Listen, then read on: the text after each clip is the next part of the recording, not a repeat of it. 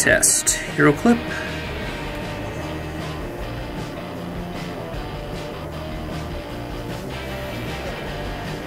Same bag. The 8 timber hook.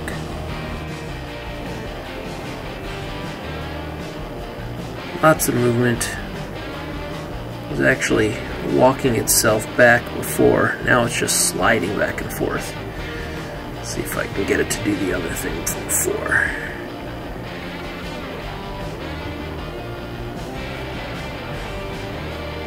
If you do it softly, you don't get much jiggle, but if you kind of just toss your bag there,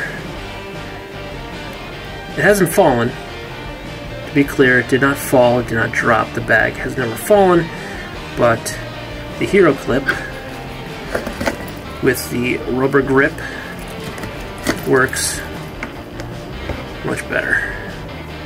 And this is a GoRuck Bullet 15 with my average EDC inside it, not much.